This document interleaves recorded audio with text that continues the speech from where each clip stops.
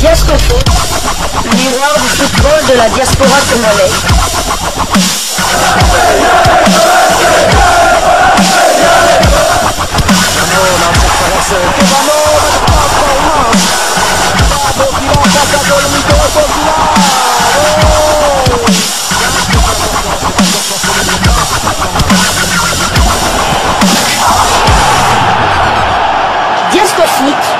Le miroir du football de la diaspora congolaise. Vous êtes sur Diasco Foot, le miroir du football de la diaspora congolaise. Diasco Foot vous dit bonjour, tout le plaisir est pour nous de vous retrouver, mais surtout de savoir que vous êtes nombreux en train de suivre votre chaîne YouTube dédiée uniquement aux footballeurs de la diaspora congolaise.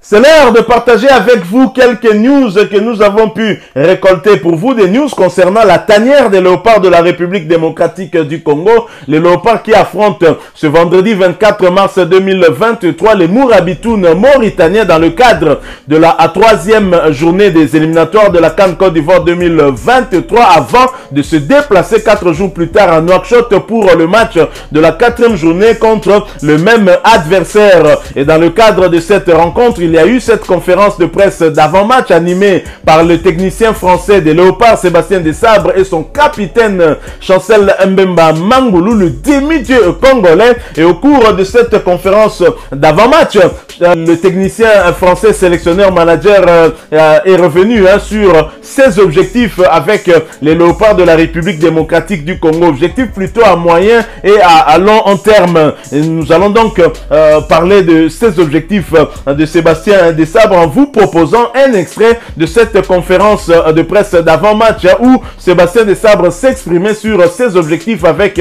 les Léopards de la République démocratique du Congo. Des objectifs un tout petit peu éloignés en tout cas de cette canne Côte d'Ivoire 2023, même si nous l'avons en esprit, il faut pas oublier qu'il hérite d'une équipe euh, qui euh, est mal classée hein, dans euh, le groupe I en dernière position après deux premières journées, deux défaites. La République démocratique du Congo qui doit se battre pour rattraper son retard, un retard qui s'est creusé d'ailleurs hier, jeudi 23 mars, avec la victoire du Gabon sur le Soudan. Le Gabon a désormais 7 points dans un groupe I hein, qu'il domine en entendant le match d'aujourd'hui entre la RDC, la Mauritanie, la Mauritanie qui pourrait rejoindre le Gabon en tête de ce classement, ou bien la République démocratique du Congo qui pourrait rejoindre le Soudan avec ses trois points en cas de victoire face à la Mauritanie. Je propose d'abord d'écouter Sébastien Desabre, ensuite nous nous retrouvons tout de suite après. Foot, le miroir du football de la diaspora congolaise. Quels sont les objectifs concrets en termes de résultats qu'on se, qu'on se fixe? Les objectifs qu'on se fixe, c'est la Cannes 2025 et la participation à la Coupe du Monde 2026. D'accord C'est-à-dire que tout travail va être basé là-dessus. Ce qui ne veut pas dire, ce qui ne veut pas dire qu'on ne va pas se qualifier à la Cannes 2023 ou 2024. Non, c'est 2024, on va l'appeler 2024 puisqu'elle a été, détaillée. Vous connaissez le- l'enjeu. L'enjeu, c'est que euh, ben, il reste 4 matchs. J'évalue le fait qu'il faut faire 3 victoires et un match nul pour, se qualifier. Je pense qu'on peut avoir le potentiel pour le, pour le faire. Euh, maintenant, euh, si on fait cet exploit-là, ça sera magnifique. Euh, mais en tout cas, on va se servir de ces matchs pour essayer de les gagner tous.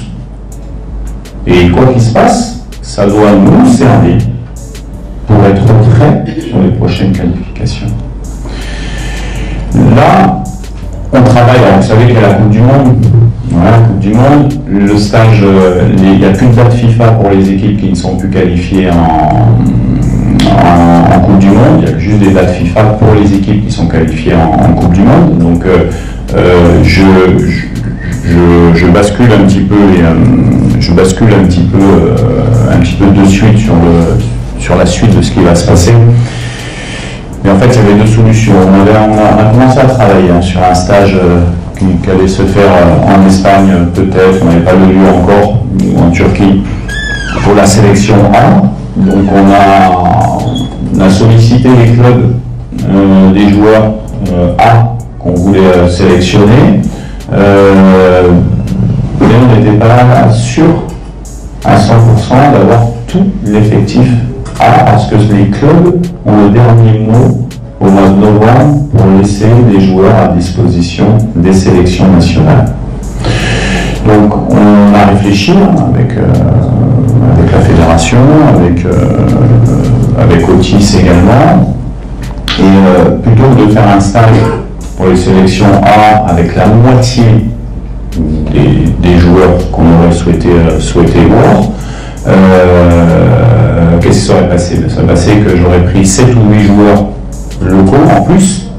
Donc ça veut dire que euh, le champ n'aurait pas pu se préparer pour, son, euh, pour la compétition au mois de janvier. Donc on a préféré euh, garder les forces, que ce soit des forces de joueurs, financiers, d'organisation, sur un stage que va faire l'équipe l'équipe en Turquie au, mois de, au mois de novembre. D'accord?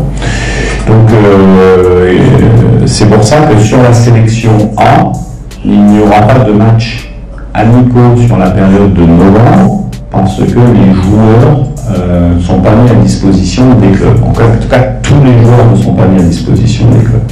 Donc pour créer une équipe, il faut avoir tous ces joueurs et puis, euh, que ce soit au niveau tactique ou technico-tactique, pouvoir travailler. Et là, ce n'était pas le cas. Donc, on a préféré orienter ça sur, l'équipe locale et donner tous les moyens possibles pour une bonne préparation sur, sur le, pour le Chad en, Algérie.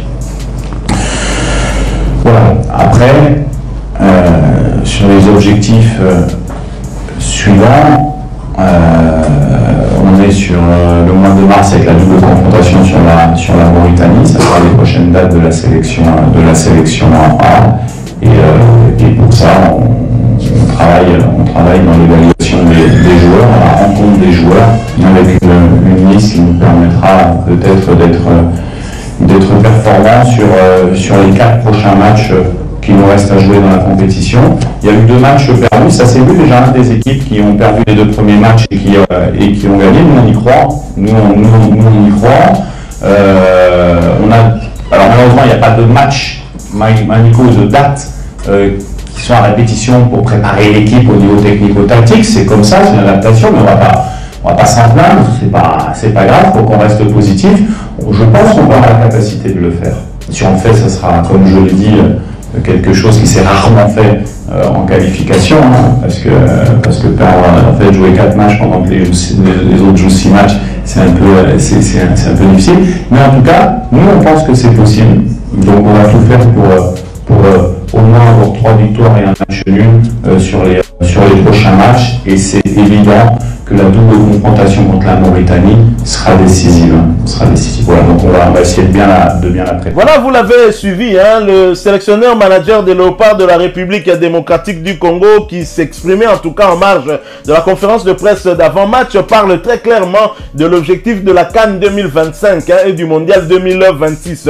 Objectif à moyen terme en tout cas avec les Léopards de la RDC. Certes, nous avons cette euh, Cannes 2023 dont tous les Congolais rêvent d'une participation parce que nous avions raté la toute dernière Cannes, hein, Cameroun 2021. Sébastien Desabre sait que la tâche n'est pas facile, hein, mais les Léopards vont se battre pour euh, arriver quand même à nous qualifier, ce qui ne sera pas facile, je le répète, parce que les deux premières journées ont été catastrophiques avec cette déconvenue, hein, où nous avons été défaits à deux reprises, d'abord à Kinshasa par le Gabon un but à 0, ensuite au Soudan sur le score de 2 buts à 1. La tâche n'est donc pas aisée pour euh, cette équipe mais euh, très clairement, en tout cas, lorsqu'il a signé un contrat avec euh, la Fédération congolaise de football association, le ministère euh, des Sports, Sébastien Desabre, conscient en tout cas de la lourde tâche qu'il attend, sait hein, que l'objectif qui peut être atteint est bien celui de la Cannes 2025 et celui du Mondial 2026. Les Congolais étant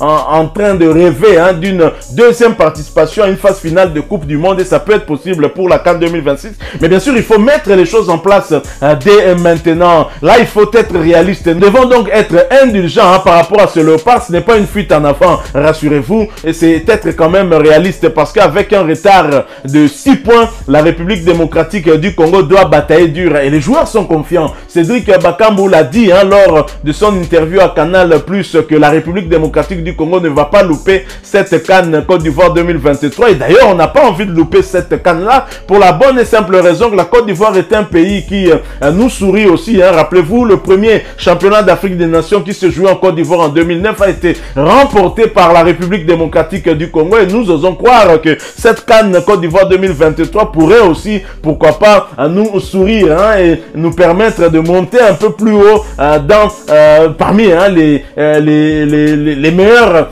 pays africains si bien sûr hein, nous arrivons à atteindre au moins le stade des demi-finales lors de cette canne là mais ce ne sont pas des objectifs que nous nous fixons maintenant. On va pas mettre la charrue avant le bœuf parce que nous devons d'abord nous concentrer sur euh, cette qualification et ne pas négliger surtout pas cette équipe des Mourabitoun, une équipe qui a montré des belles choses depuis euh, le début de ces éliminatoires et qui n'a pas encore perdu et qui a un gardien qui a réalisé deux clean sheets. Hein. Et donc, euh, à nous de, de, briser, de briser cette série d'invincibilité de la Mauritanie et de remporter finalement ce match et attendre le match retour avec un peu plus de sérénité.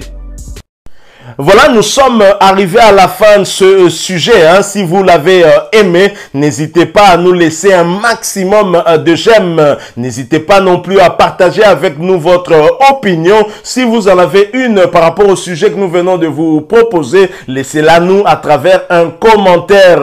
Abonnez-vous si vous êtes nouveau ou ancien que vous ne vous êtes pas encore abonné sur cette chaîne Diasco Foot parce que nous sommes le miroir du football de la diaspora congolaise. Et n'oubliez pas qu'en vous abonnant apparaîtra une petite cloche de notification. Cliquez dessus pour ne plus rien manquer des prochaines vidéos que nous allons vous proposer. Encore une fois, merci à vous. Avec espoir de vous retrouver très bientôt avec un autre sujet d'actualité. En attendant, portez-vous bien et Diasco Foot vous dit au revoir.